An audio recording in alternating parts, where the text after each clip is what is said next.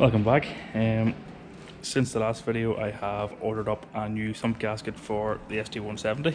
Um, I need to get this thing back together though for the new owner, so might as well crack on with that. Um, sump came with a new gasket and dipstick and everything with it, so hopefully it's just a matter of screwing it down, sealing it up.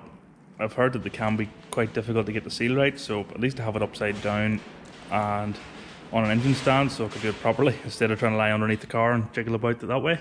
So yeah, crack on with the music.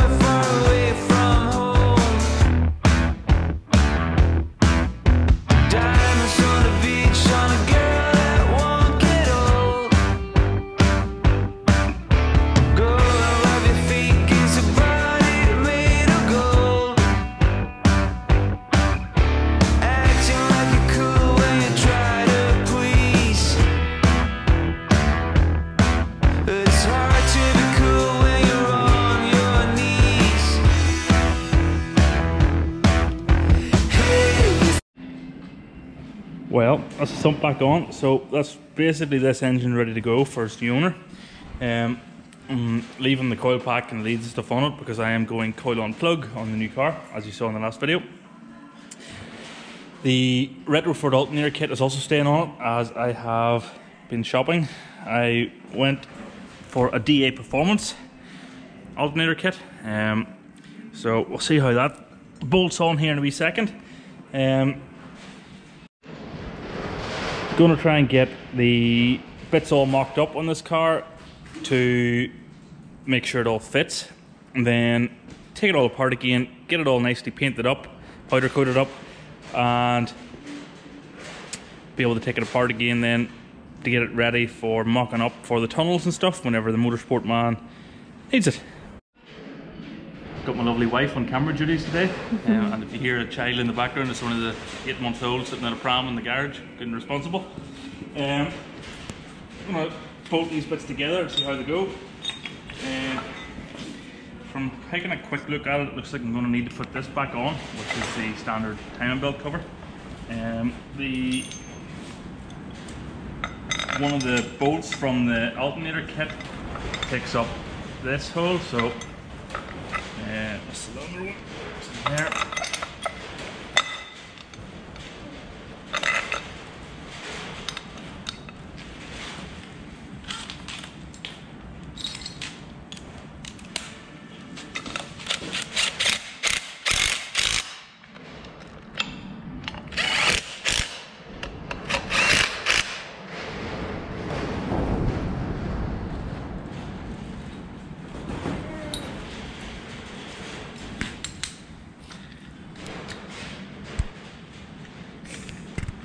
Um, this bolts on to the top bolt, as I said.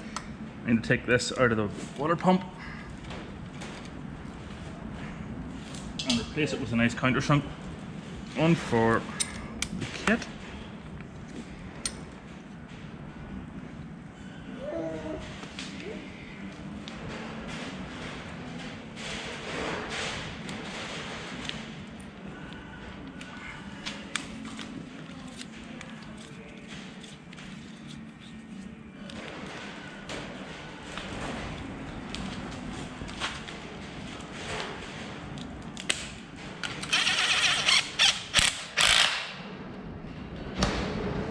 And that's how you adjust the belt tension obviously by tightening that whenever it's at its tightest.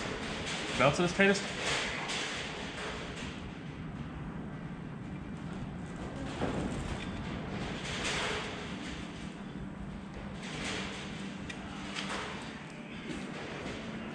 Putting this back on to check it all lines up really. I do have a belt for it but it's sitting at home so it'll have to be another episode that goes on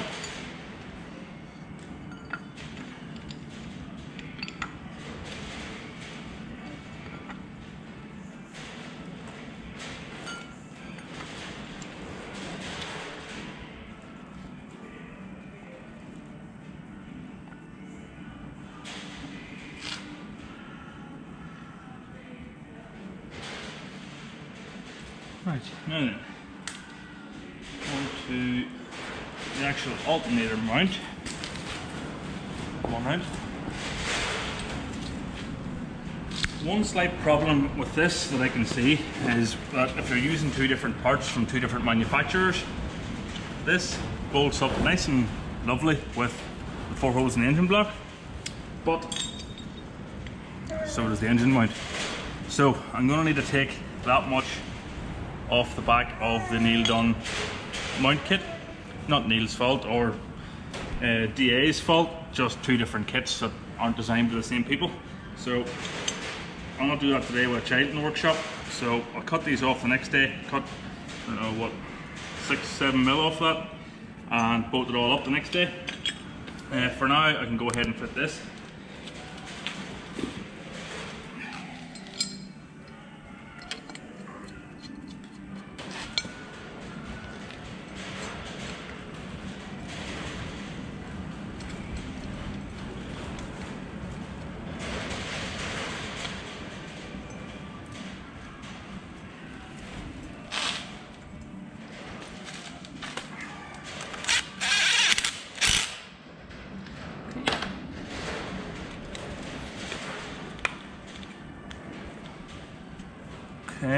And I'll put those bolts in today, obviously, because the, the mount needs to go back on there. Um, alternator, fire it on.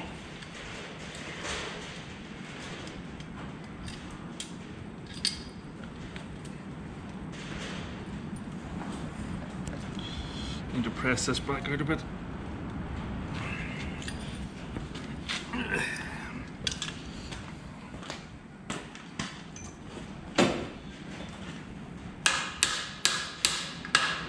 Say press.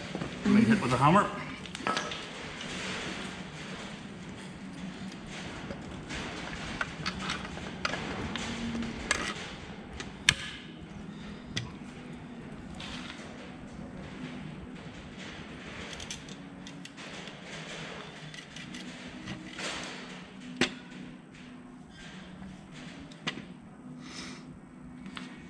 Now then, next question is where does this go?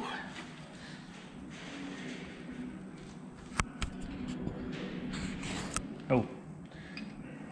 What is? Need to look at some pictures again on the internet, people. But you get the idea. Um, that's quite a nice setup. It puts the alternator at the far side, away out of the road, um, which is something I quite like whenever the engine bay looks neat and tidy. and You don't have alternators sticking up way here out of the way, or in the way, um, in the way of the throttle bodies or whatever. So I will do a bit of research, work out where the flip this goes, um, and I can see a threaded hole here. So I'm gonna make an assumption that maybe it goes on like that. That would make sense to me, but I'll work that one out and get back to you whenever I've fitted the Neil Dunne mount kit again. Uh, okay, another day, and I've done a bit of research thanks to DA Performance, who I messaged and they were straight back to me with the answer. Turns out I was being thick as per usual, and there was another bag full of bolts and spacers and stuff that I hadn't seen. So, big spacer at the top, small spacer at the bottom, and the alternator now is adjustable. um, I have dug out the old timing cover and the old plug cover. I think they're going to go back on. Um, need to obviously cleaned up and painted. The idler bracket and stuff is a nice piece of kit as well. Um, it leaves clearance stuff for the water pump pulley, and this kit will rotate the water pump the right way. Um, the next job I think to get this finished off is to trim the six millimeters off the engine mount standoffs. So I'm going to do that now, get it marked up and drill that. And in theory, once I bolt that back on, that's the alternator kit done. Um, the clutch and flywheel kit, they're here. This is the retro Ford setup. This is the retro Ford flywheel that takes a Pinto clutch, I believe. Um, I bought all this stuff second hand, of a friend of mine. It was only in the car for maybe a thousand miles, two thousand miles most. So it's nice to know that it all works and that it should all just bolt back together and work. So yeah, time to do the engine mounts.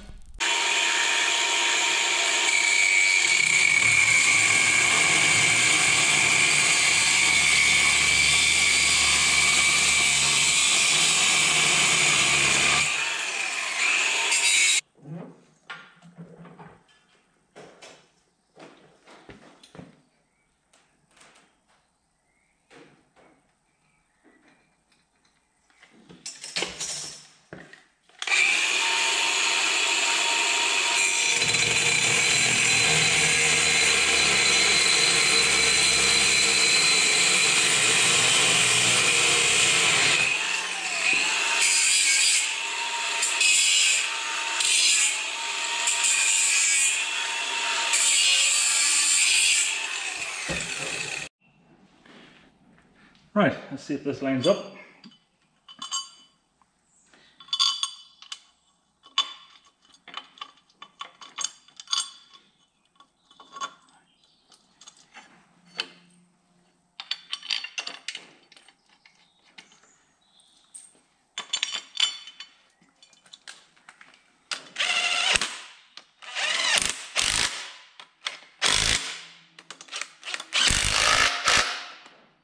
That all looks pretty good to me. The mount screwed back in.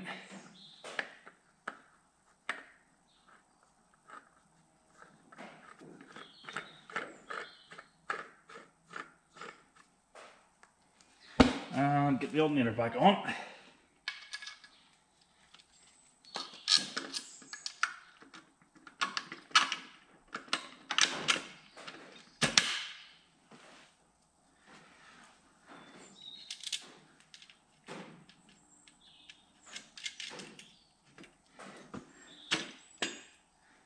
Think that's pretty good. That leaves it now that everything bolts up pretty square.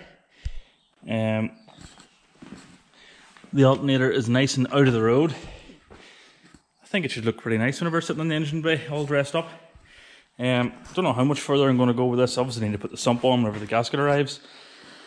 Um, and I might give it a like a paint, but until it's time to actually set it into the car, I don't think there's too much point in doing much more on this. Um, the only other thing that I need to do now, really, or I want to do now before I start painting, is to trial fit the exhaust manifold to see if it's going to clear everything with the alternator, the mounts, everything. I haven't tried it on yet onto this engine with everything on it, so here goes.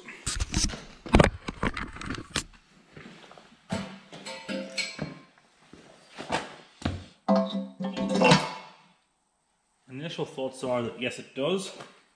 So I will get it bolted on here.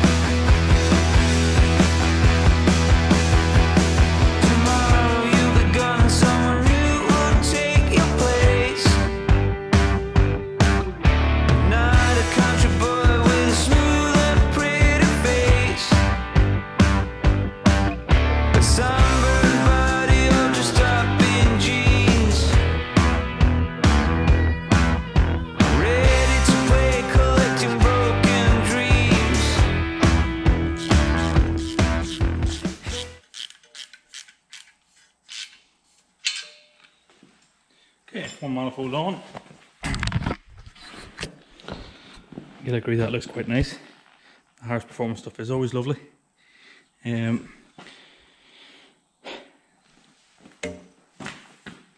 don't really know what to do next. Um, I think until the sump gasket arrives, that's me at a standstill.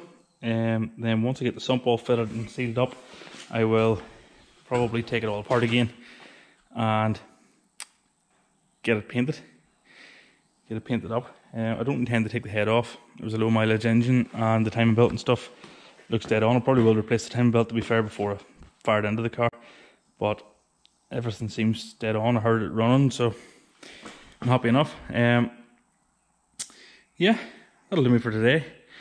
Thanks for watching as per usual. If you like what you're seeing, hit the like and subscribe button. Um, the car itself is in good hands over at Grattan Motorsport. Sorry there's not much content on the actual Escort itself at the moment, but needs must with the lockdown.